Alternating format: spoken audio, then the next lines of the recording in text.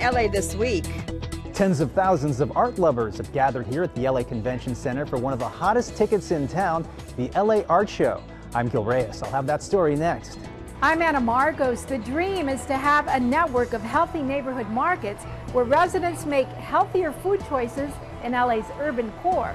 More on that coming up. The LA Zoo welcomes an adorable new resident. That's coming up.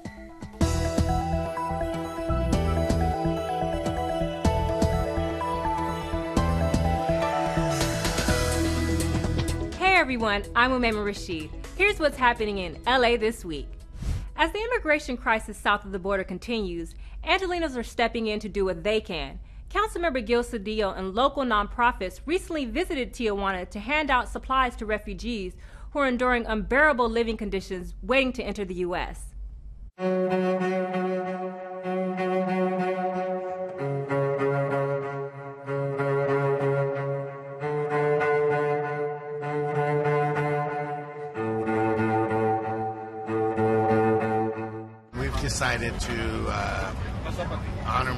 King and Martin Luther King Day of Service by going down to the uh, city of Tijuana.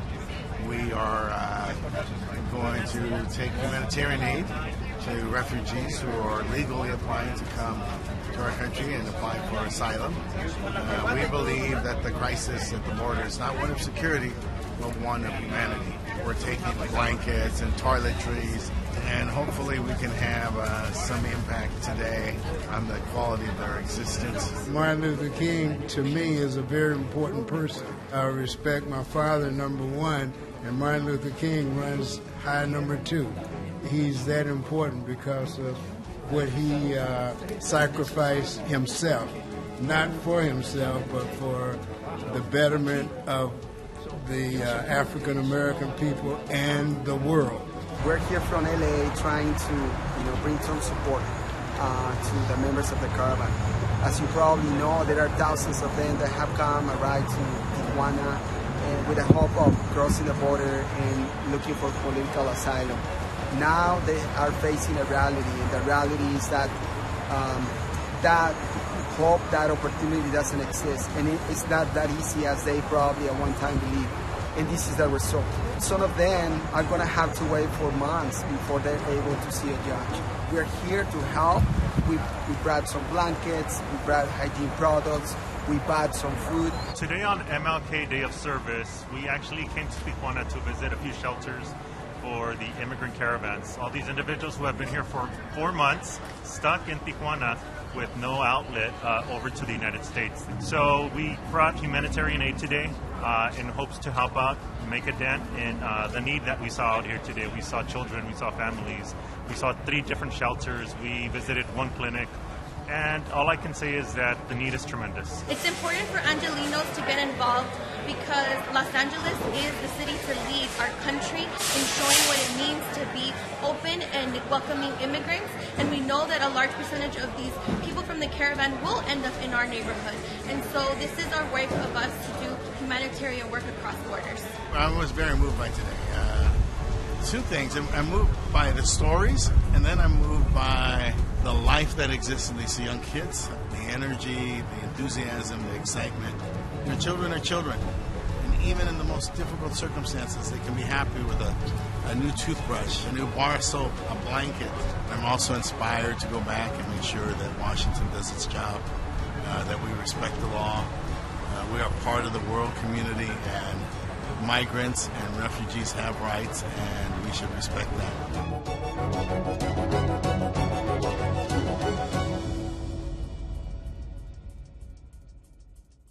Good news if you're planning to start a family anytime soon.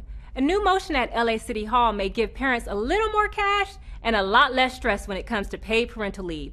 Anna Marcos has more.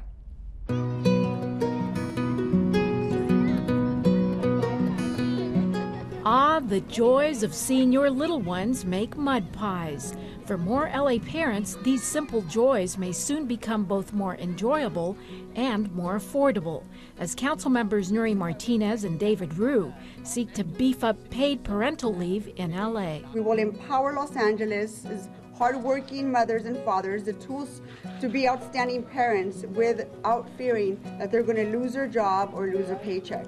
I think that that would be helpful. Yeah, to, had I had it when I had them. I mean, it sounds absolutely like it would be a positive thing for parents and for, for moms. Absolutely, it would be. Yeah. Currently, California's paid parental leave policy covers up to 18 weeks of leave for new parents, but employees only get 60 to 70 percent of their pay. For many, especially low to mid income families, 60 to 70 percent of their salaries to live in Los Angeles is not enough.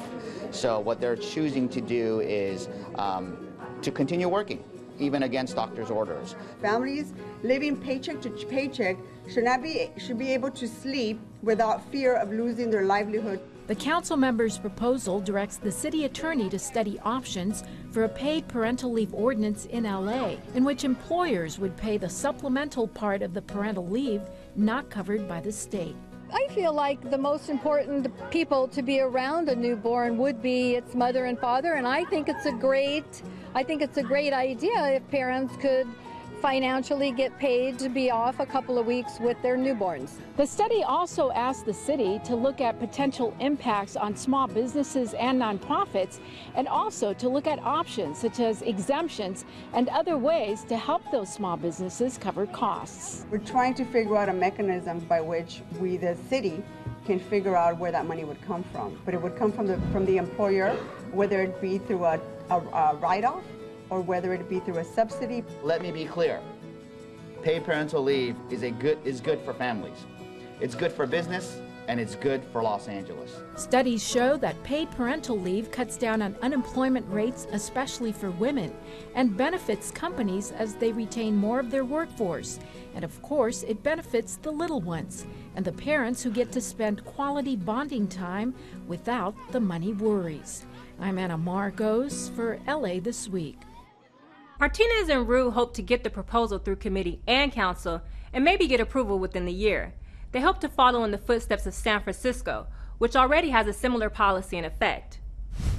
As we know, it's hard to eat healthy when there are very few options available at your local grocery store, but things are slowly beginning to change in several LA neighborhoods as more fruits and vegetables are starting to appear on store shelves we visit one small corner market.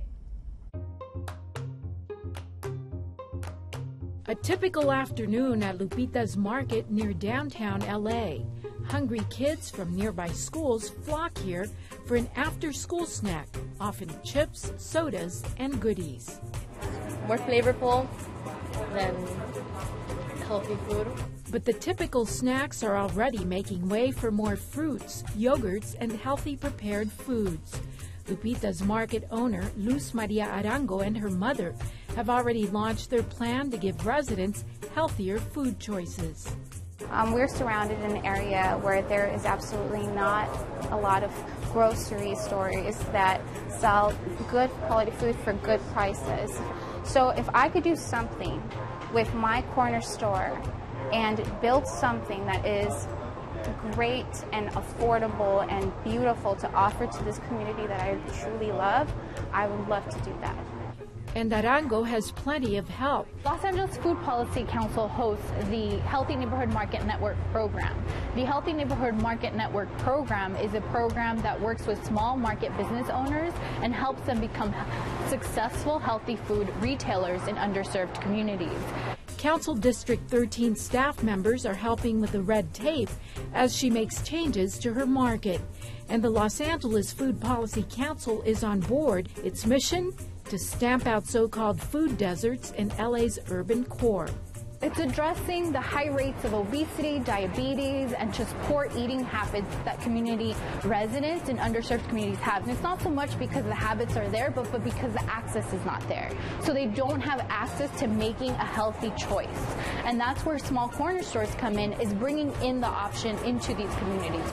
At the moment, the Healthy Neighborhood Market Network is helping about 20 local stores beef up their healthy food choices from this to this. And about two of the stores a year are getting an entire transformation, including Lupita's Market. This project, uh, among many others that we work with in the community, was important to us because of the emphasis on the food deserts and the community, and we wanted to come in and help out. And we do a lot of retail work, and we felt like our expertise was one that could very simply transform this space. The healthy options are going to be front and center when people walk in. So we're featuring this center area in our designs so that it draws people into this store to where they're making sandwiches.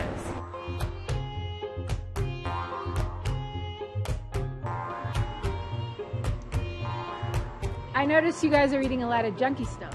Yeah, I know it's not healthy, but like you could do it like at least once in like a week and stuff because it's not really healthy. You can get fat. And I'm like, sure you don't eat it every day. Mm, not every day, but I'm not gonna lie, I do eat it often, like very often. One kid is pushing away the goodies for a nice, healthy bottle of water. Like eating healthy is good, but like if they want to eat like like let's say a Snicker bar, it's it's all right, but like don't eat a lot. But worry not, training and food education are also part of the plan at Lupita's Market. Yes, I mean, who knows? If I could teach a class, if, you know, you have five bucks or you got ten bucks, how can you eat healthy with those five bucks? More choices, more access, and more education just might mean more residents develop a taste for healthy. I'm Anna Marcos for LA This Week. Turning now to LAPD's latest graduation ceremony as 52 new Los Angeles police officers take the oath to protect and serve. We were there for their special day. I'm feeling mixed emotions. I'm joy, proud, I'm just excited to hit the streets and make a difference. A proud moment for Rodrigo Soria as he officially becomes part of the force at the Los Angeles Police Department, the second largest in the nation. He and 51 others and their families gathered at the Academy's graduation ceremony to mark the transition. What stands out for me the most is the, the, what the badge represents. It's known across the world, not just the nation, across the world, and that's something that stands out to me the most. It's regarded as one of the best academies in the nation, and I'm proud to have completed it. Officer Soria, a resident of the San Fernando Valley, worked in retail before joining the LAPD, and that's where he made friends with a few police officers who guided him into being a cop. When I was 18 working for Nordstrom, the Los Angeles Police Department officers would respond to our store to pick up the shoplifters, and then just the positive interactions that I had with them, them encouraging me, giving me guidance, you know, pushing me towards applying and leaving that job behind is something that really did it for me. Lorena is Officer Soria's mom. She says that the police academy helped her son become a man who wants to be a positive role model. He has taken an oath to serve his community, and he's going to do it to the best of his ability. I feel very proud. They represent the best of the City of Angels. They, we've chosen very carefully. It's, it's difficult to, to become uh, a police officer in this city because of the, the rigors that we require, not just your emotional intelligence and physical capabilities, but, but your heart. Uh, what's your character? Officer Sampson is feeling all kinds of emotions as his career starts with the LAPD. Originally from Tampa, Florida, and a veteran from the Navy, he's excited for his new chapter as an LAPD officer. It's almost unreal. It's, I almost can't believe it, how far I've come compared to where I was the first day. And now, as part of the LAPD family, these officers will protect and serve us all.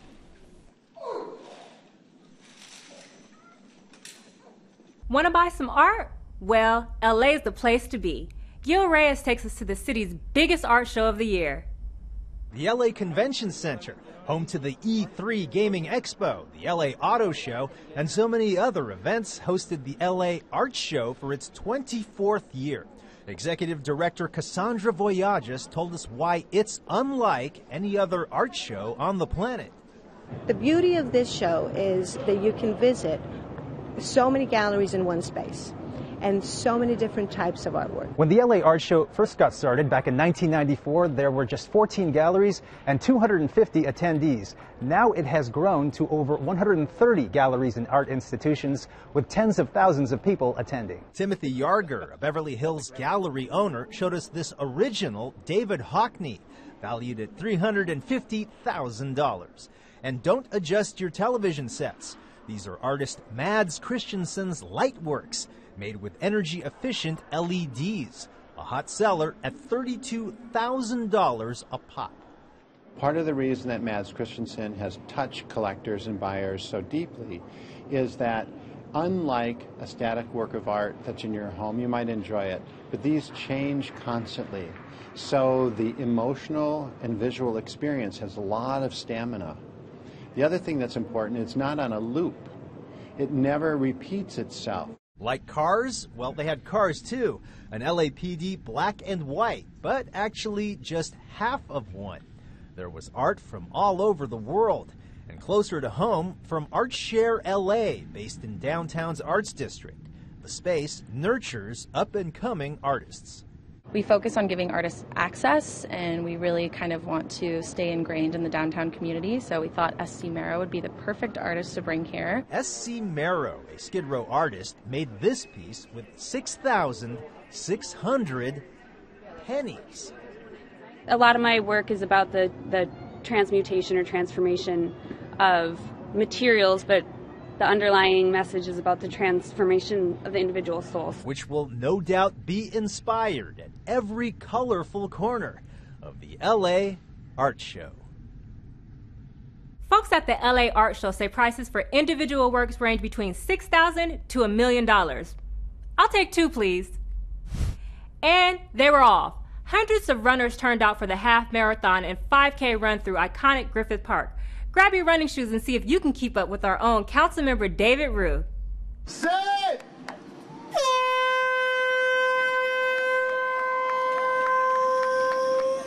Good morning. Uh, I am proud to be here on the world famous, the largest urban park in the nation, Griffith Park, to host the fifth annual Griffith Park Run. We're really happy to put on this event every year. The LA Parks Foundation raises money for our city parks, all 450 of Los Angeles' city parks.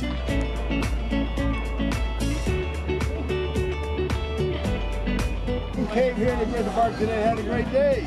I had a fantastic day for the 5K, and what a beautiful day with so many thousands of people running.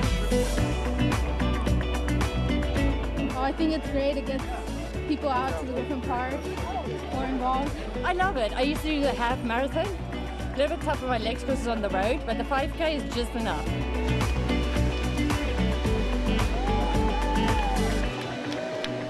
beautiful place, beautiful weather, and awesome people. So I'm really happy to take part here.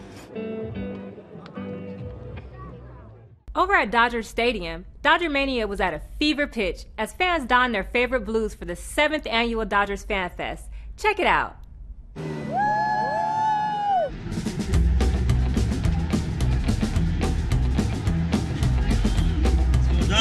We're here at Dodgers Fan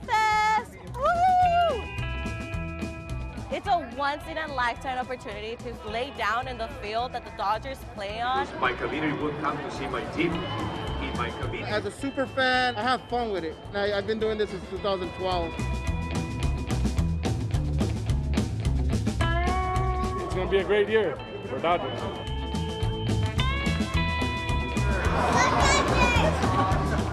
It's awesome to see that as much as we give and we love the Dodgers, they give back. So I was standing over there, and Justin Turner came up, and I, he touched my hand, and I'm never washing this hand because Justin Turner touched it.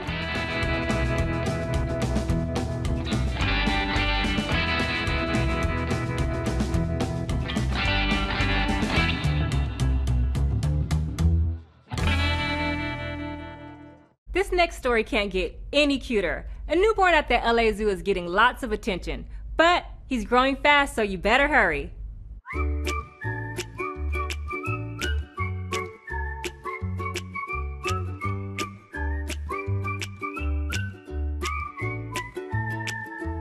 So we had our Pudu Fawn born here at the Los Angeles Zoo. He's out on exhibit for everyone to see with his mom and dad. He is still pretty small and he has the spots. Um, and at about three months old, he's going to be full grown.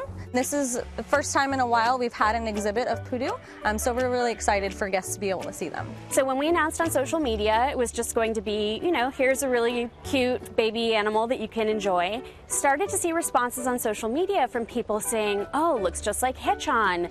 Oh, that's that Pudu should be named Haechan." And we were all like, "What's that? Who is that?"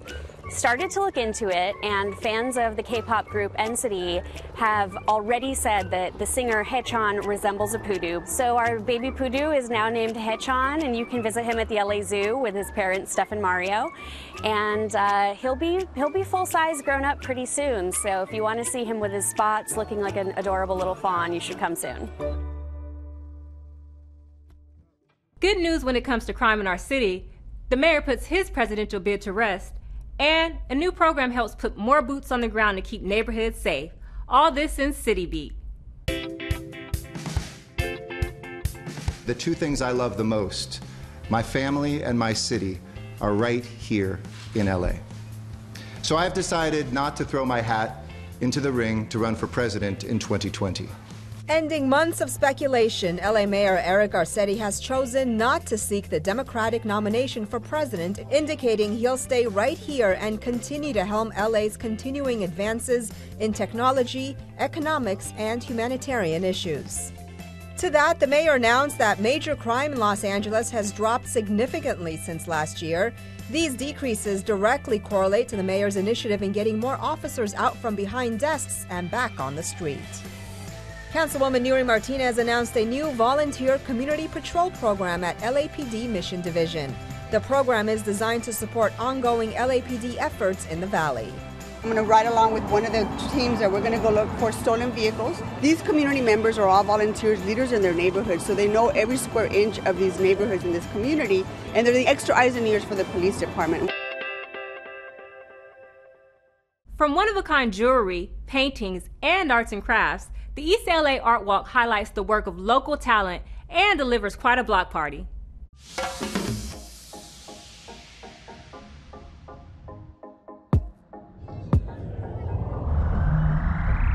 East LA Art Walk, it's a community organized event. It's been happening for five years at the corner of First Street and Indiana, and it happens on the second Sunday of each month. Rain, shine, or lightning.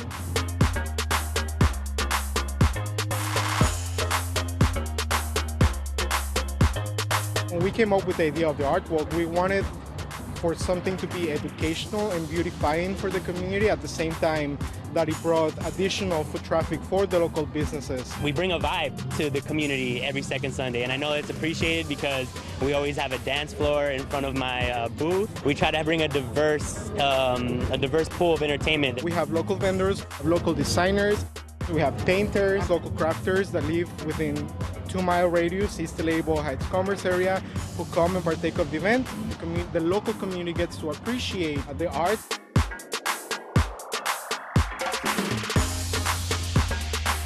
We do a silk screening workshop as well with Cultivarte Studios. It allows the community to come and actually learn how to print as well as create their own stencils so they can make their own art and kind of hopefully spark the next generation to be young artists and entrepreneurs as well. It's free for the public, it's family friendly, pet friendly, LGBTQIA friendly. Well, we are making sure that we are um, catering to all of these subcultures within our community. We're trying to create a thriving economy for artists and entrepreneurs to exist. We're trying to create more business and more wealth in our communities of color. Everybody should at least experience it one time and find out for themselves how awesome it is. But if unique food is more your thing, check out Smorgasburg LA. It's got everything you can think of, from lobster, whole fried fish, Cuban sandwiches, and ice cream. All of my favorites. It's LA's top destination for every taste. Hope you're hungry. Zach Brooks. I'm the general manager of Smorgasburg LA. SMO. SMO. SMO.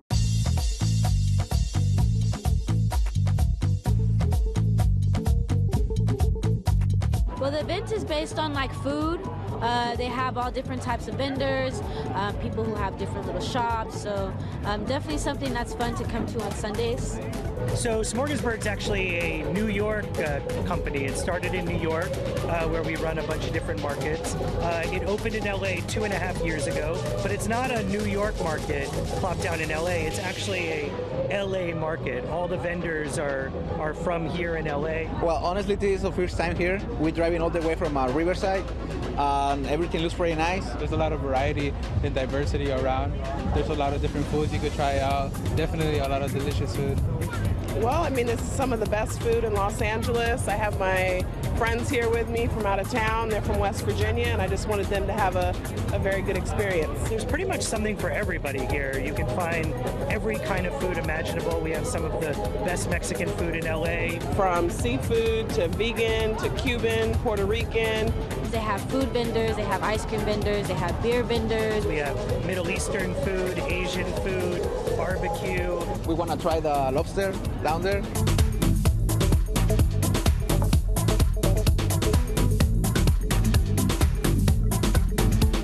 You're uh, 100% free to get in every single Sunday from 10 to 4, and we have a huge parking lot that is free for two hours. Don't eat breakfast. Don't eat breakfast before you come here.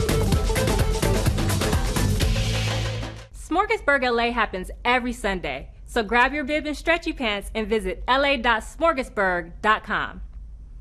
A new music series is about to take center stage, help connect those experiencing homelessness with service providers, and celebrate Black History Month during a Pan African Film and Art Festival. All this and things to do. Explore music, ideas, and the spoken word through Compose LA, an ambitious music presentation and companion lecture series happening in storied music venues throughout Los Angeles. In this inaugural workshop, Clock Shop LA will host a symposium entitled Nicole Mitchell's Spiderweb. Don't miss Compose LA, beginning Saturday, February 9th at 7:30 p.m. Clock Shop LA is located at 2806 Clearwater Street. For more information, visit clockshop.org.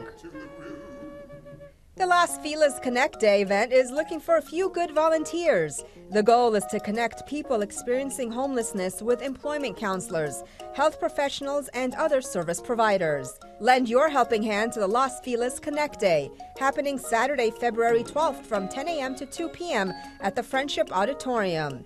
To volunteer for the event, email cd4.issues at lacity.org. Head on down to the Baldwin Hills Crenshaw Plaza for the 27th annual Pan African Film and Arts Festival. The festival features over 170 new black films from around the world and exhibits from over 100 fine artists and unique craftspeople. Treat yourself to the Pan African Film and Arts Festival happening February 7th through the 18th at the Cinemark Rave 15 Theaters at Baldwin Hills Crenshaw Plaza. For details, visit paff.org. And that's a look at some things to do.